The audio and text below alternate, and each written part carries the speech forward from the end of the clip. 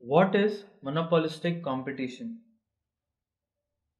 Monopolistic competition means a type of market, a type of competition where there are large number of buyers and sellers, many buyers and sellers, and there is free entry and exit of buyers and sellers. There's no barriers as to entry and exit of buyers and sellers.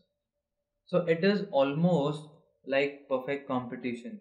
The point where it differs from perfect competition is that in perfect competition, the important feature is homogeneous goods. But in monopolistic competition, the feature is differentiated goods. The goods are different from one another there may be a slight difference, but there is some difference. The difference may not be very big, but the goods differ from each other even though minutely. So here the goods are not identical or homogeneous. Otherwise, it's almost like perfect competition only. So the firm is able to differentiate its product from the competition from other from other sellers.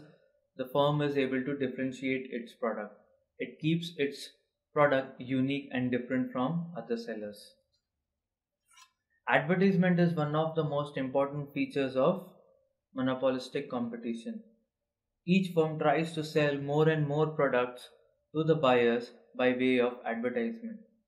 It entices the buyers to product it entices the buyers to purchase its products by advertisements. A lot of publicity is done on the products.